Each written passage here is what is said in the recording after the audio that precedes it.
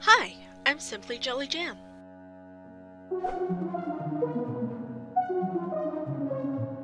I decided I wanted a tabletop that could attach to my DIY craft cabinet using some metal mounting hooks. I had two hooks attached to the craft cabinet and I put aside two that would be attached to the back of the tabletop.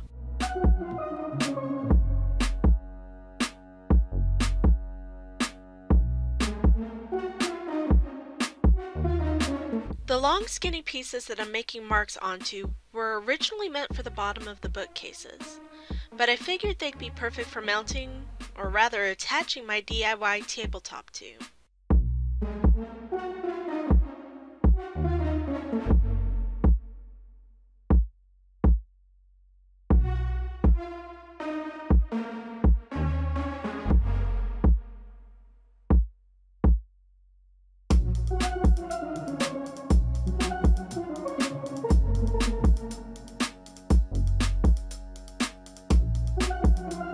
The mounting hooks didn't sit flat against the shelf or the long skinny pieces.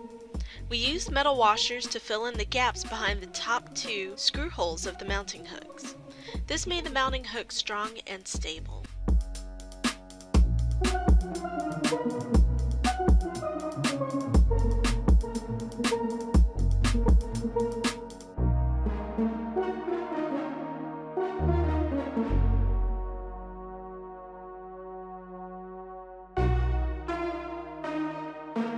My dad made the tabletop with MDF board and several 2x2 pieces of lumber. I used a T-ruler to help him determine where to drill the screws into.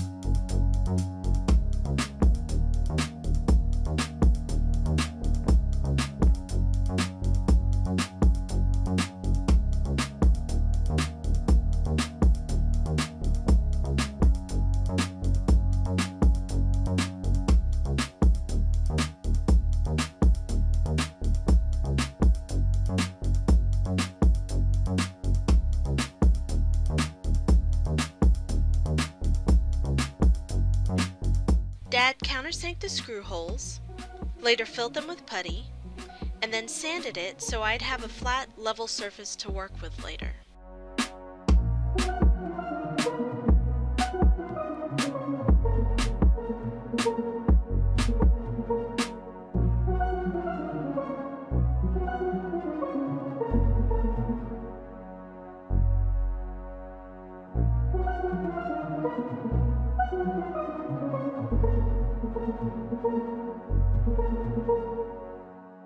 Spray painted the DIY tabletop with the same color as the bookcase backings.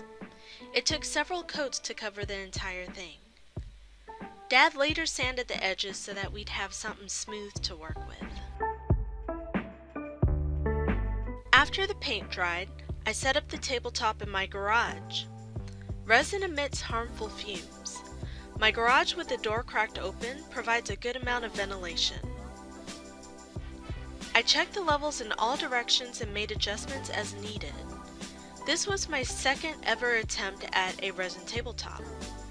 I was very nervous about working on something at such a large scale and messing up.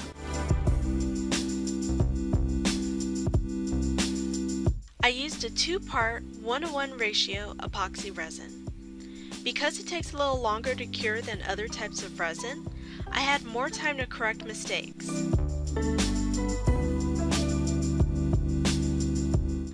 Several liters for my design.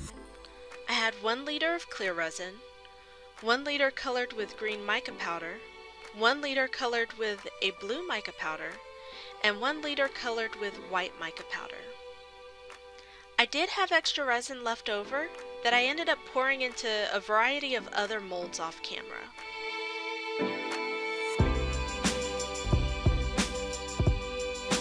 I I started by pouring clear resin over the tabletop. I spread it out and torched the bubbles before adding the colored resin.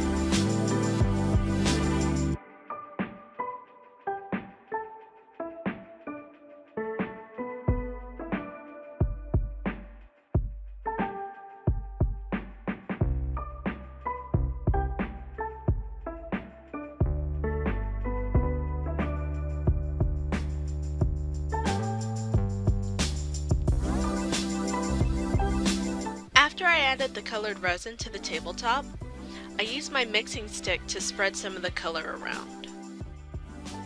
Later on I used my hand to spread and blend the colors even more.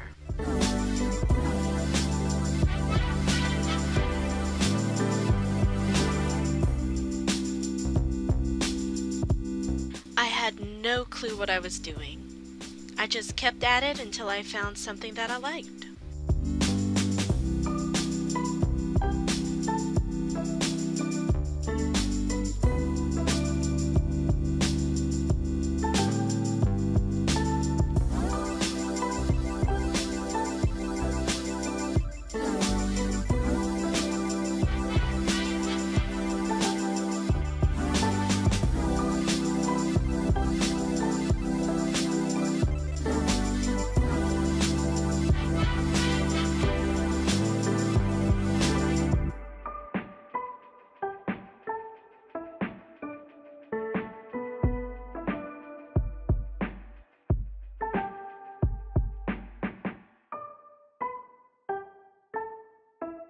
I ran my hand along the bottom several times to catch the drips, so that that would be one less thing that I had to sand later. We used a torch to pop the bubbles, and then left the tabletop alone for about a week to allow the resin to fully cure.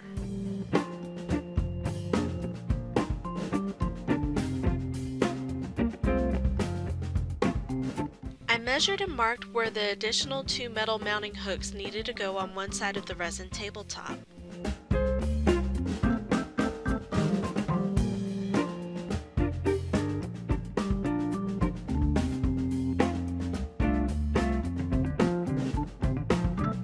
The table is not lightweight, but it's light enough for me to pick it up when I needed to use it.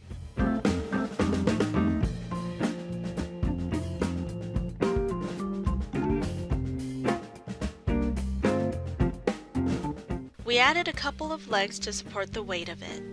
We also added foot adjusters so that I can ensure that the tabletop is level no matter where I used it in my house.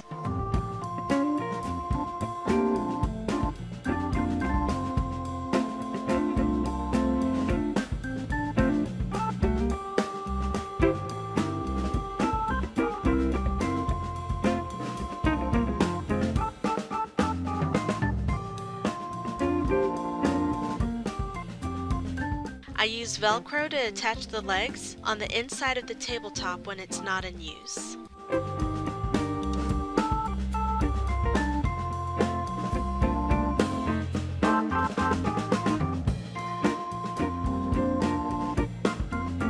With my DIY resin tabletop done, I only had a few more things to do to complete my DIY craft cabinet.